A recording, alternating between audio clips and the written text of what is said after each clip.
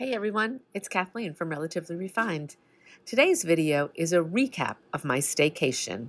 I will share with you a recent thrift haul, take you on a walk with me in my favorite spot in the woods just up the road, share with you a newfound recipe that has quickly become an absolute family favorite.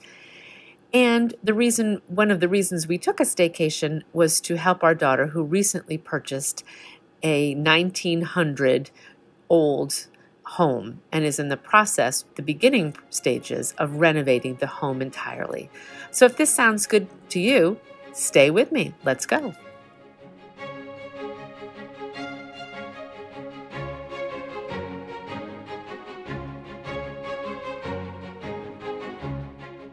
Okay, so I am here. I have all of my thrift finds that I gathered from my staycation thrifting, two, two little trips. And as I put them all out, I'm like, oh my gosh, everything I bought is green or purple.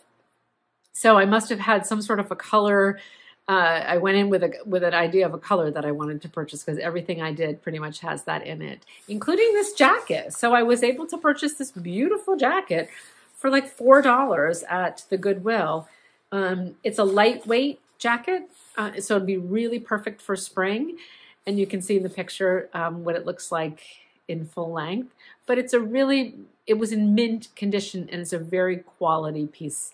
Like I said, I do like to buy clothing and I'm very particular about the brands and the, the clothing that I do buy. So that was the first thing, and that is purple. The other purple item that I bought um, was this really sweet little vase.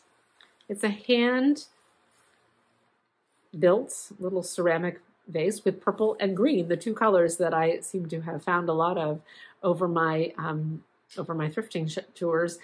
And this is a very simple. I uh, it's a tiny little opening, so I put one little purple tulip in it just to give you a sense of how big it is. Um, but it's a it's beautiful. It's very small and makes a big statement with that beautiful purple and green color combination. And I'm just going to keep it on the windowsill with one flower. This happens to be a real tulip. Um, I may look to see if I can find some faux or some dried flowers that might also look good in this. Um, but it does hold water. It's perfect. It's a real vase, so it worked fine for my purple tulip. And speaking of flowers and green, I found this really beautiful vase, tall vase. I'm thinking it will be perfect for hydrangeas when they're out or a big thing of daisies or um, it's quite tall. I tried a, a bouquet of tulips in it and they didn't sit the way I liked them to. So I think it's going to need something that's really big and kind of bushy almost at the top. So um, I'm really thinking hydrangeas or lilacs. It would look beautiful with a bouquet of lilacs. Again, that purple and green, lilacs being the color of my jacket here. And I will put that, use that out in our sunroom or, or inside. But I just, there, I, the green caught my eye. There's no markings on it. Um, I washed it up and it seems it's perfect. Um, I just, like I said, I loved the color and I liked the size, um, being tall for some bigger bouquets of, um, of natural uh, flowers when they come out.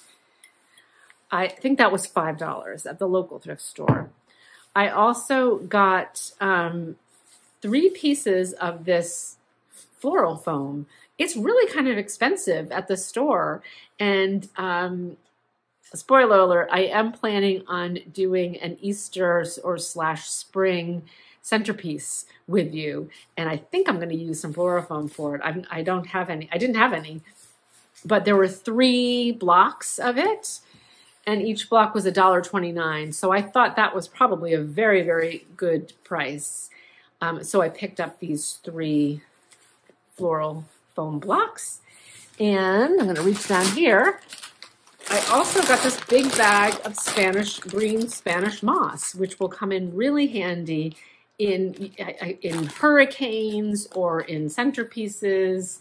Um, you know, and again, it was two dollars and twenty nine cents, and I think it's really kind of expensive if you go into Joann's or Michael's and get a get it new. So I'm always on the lookout for these kinds of things that um, the Goodwill still prices very, very reasonably.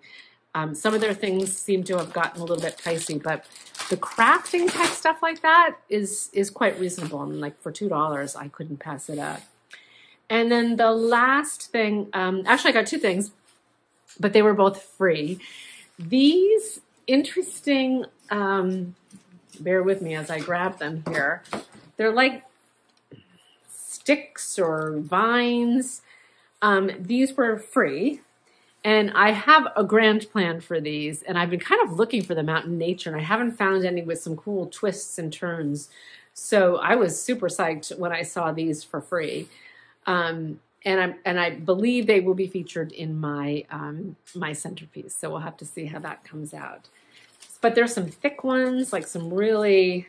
Some of them are thinner, and then like this one is really quite thick and gnarly. Um, so I was very excited about that. They have great texture, they have great height, and I think they're going to be really cool in the centerpiece that I have planning and sort of brewing in the back of my head. And my last um, item is also green, and it was free. And that is um, this kind of vintage motel chair and I'll, you can see in the picture up here. It needs a little bit of cleaning and probably a little bit of work, maybe a, maybe a fresh coat of paint or spray paint on it, but it was free. And um, I'm not sure, maybe it'll go my daughter's new home, but probably it will go where my son lives in Burlington and just be one more, you know, seat out on their out on their pergola and their deck out the back because it can always use more seating when they have friends over. So that was one of the things um, I was excited to do to take my time to get to these two thrift stores that I don't often get to when it's busy during the work week. Um, and just be very selective and, and thoughtful about what I got. And I, I think it was a success.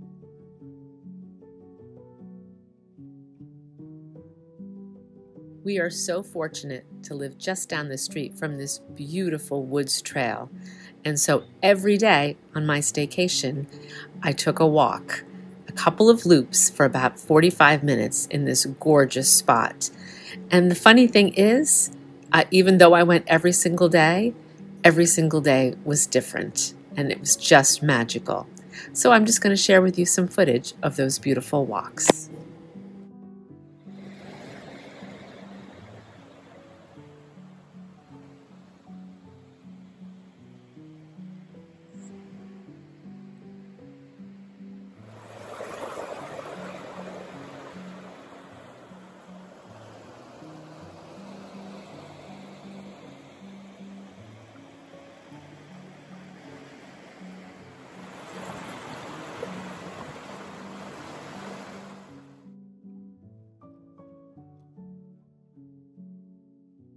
Okay, so the first thing you do is to cut these spaghetti squash in half lengthwise.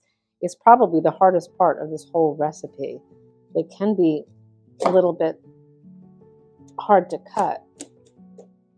Once I get it to that point, I just kind of rip it apart and you'll need to scrape out the insides. I like to use a grapefruit spoon to scrape out the insides um, you know, the seeds and I call them the guts. And you scrape those out.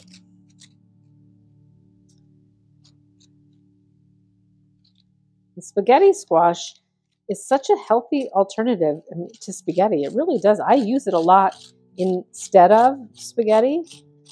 Um, I've made it with different sauces on it. But this recipe, because it bakes for a good 40, 45 minutes in the oven, it is absolutely delicious.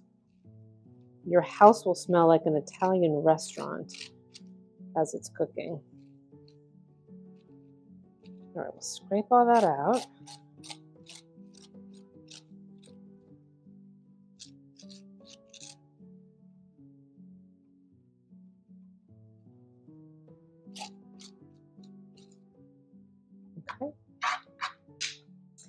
And then you are going to just drizzle that with some olive oil. I'm using uh, Kirkland or Costco olive oil. It's my favorite. Matter of fact, I'm almost out. I'm going to have to make a trip up there. Okay. Once you do that, you add a little salt and pepper.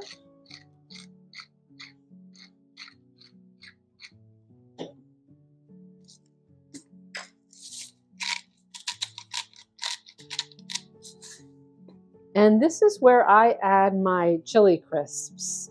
I just take a small, I'll use the same little spoon that I cleaned the squash with. You know, about maybe a teaspoonful, like that. And you can see it's, they're really red chili uh, flakes. And I put it right in there and I just kind of sprawl it around. It has some oils and oil based but it has a sweet and a spiciness to it that is delicious. And if you don't have this, you can certainly just use the red pepper flakes. Okay, so that goes in there next. Then you take your block feta, and the package I showed you was um, this is half of that, and then you're going to cut that in half again. And you actually some of the recipes tend to put it in whole. I kind of break it up a little bit. I like to have it broken up a little bit. It does melt and it gets mixed in, but to avoid any really large chunks, I just break it up. And you put a quarter of the block in each half. These are really big spaghetti squashes. Um, so I'm tempted I think I will add just a little bit extra feta just because they are so big. And they're, how can you go wrong with more cheese? It looks like a lot, but trust me, each spaghetti squash has quite a bit of squash in it. Okay, so you do that. And then, then you're going to add the tomatoes. And you add quite a few, about three quarters of a cup in each half. So you really, they, they just roast right in the oven. They're just so good. Plop them in there.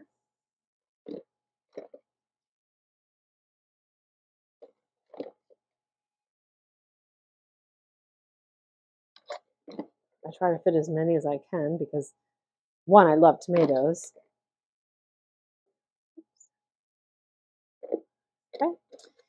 And then we're going to add a clove of fresh garlic to each half.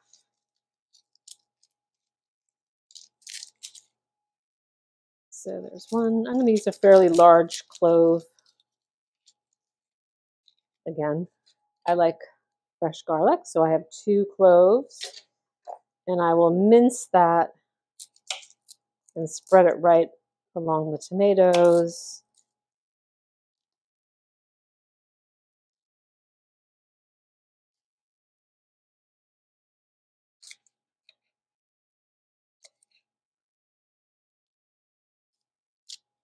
You could always use um, garlic paste if you had it, or already um, minced up. Sometimes you can get a jar of minced garlic. I don't have any of that. I I actually planted garlic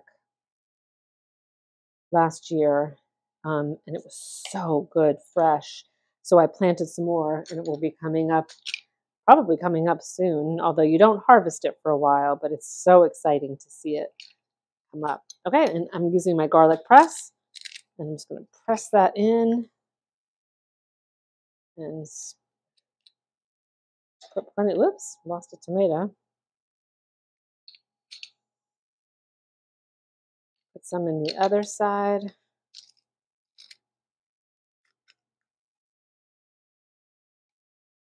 I love garlic, so you can never have too much garlic, in my opinion. Matter of fact, that one looks like it got shortchanged. I'm going to add a little bit more. Got the smaller clove.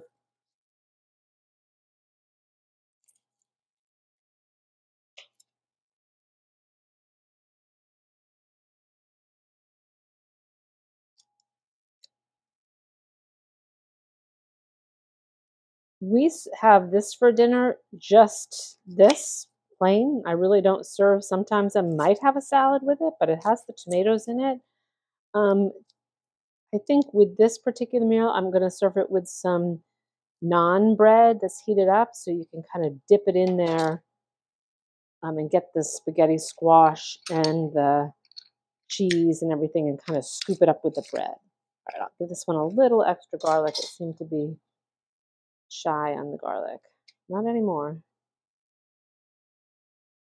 Okay. We then add our spices. So this is oregano and I eyeball it. Just putting it in. Like I said, if you have fresh, better, but I didn't. Although hopefully in the summer when the herbs are coming up, we can replace the dried herbs with the fresh ones. And this is basil. And I always have tons of basil in the garden, so I can't wait for that. You put a healthy dose in there. There's quite a bit of wash. And when you are done with that, a little extra drizzle of olive oil, just to kind of make sure the tomatoes will get nice and roasted down.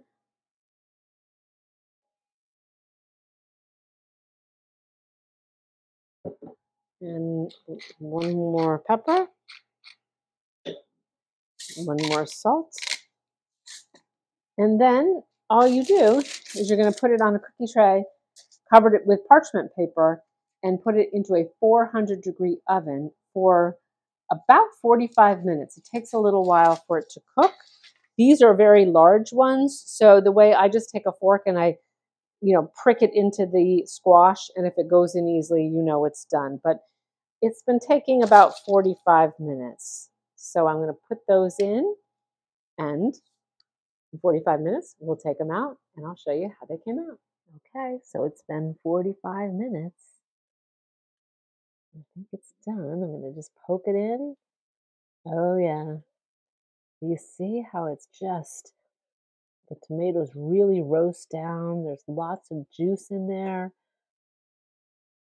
from the tomatoes and the olive oil, and there's the cheese. And then you end up just scooping all of this.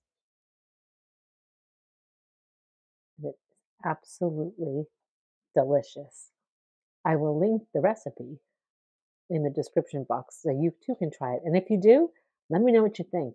I think it's one of our favorites. So, our big news is that our daughter and her partner bought a house. They have been looking for several years, and the housing market in Vermont has made it very, very difficult for them to buy. But a couple of weeks ago, they bought their dream home. It is an 1900s fixer upper in their dream town. And so my husband and I thought we would go up and help them get started on the Reno project. It is a dirty job and it's a lot of work, but she's lived with us and so she knows the process and has been through it before. But they started by tearing out the plaster and lath, and that is a huge job. The end result is absolutely stunning. And the house is 1,500 square feet, so it's manageable, and they are just finding all kinds of treasures as they work their way through every inch of this house. So, my plan is to give you some updates every now and again on their progress. So far, it's only been a couple of weeks, and they have probably 75% of the house down to the studs. And they will just keep on going so that means my husband and I get to make quite a few trips up north, a couple of hours up north, to help them with this process. But they are so excited. They've uncovered beautiful brick, they've uncovered some vaulted ceilings, they even found a set of dishes and a whole box of Hardy Boys books. So who knows what else we will find? But I thought I would give you a sneak peek and a preview at the work that we will be doing with them over the next year.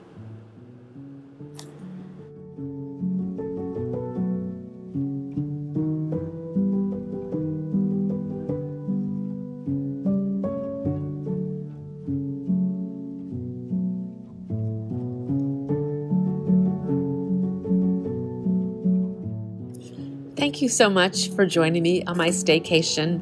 It was a great week. I feel like we got a lot accomplished and got in a little rest and relaxation as well. Thanks again for watching, and we'll see you next time.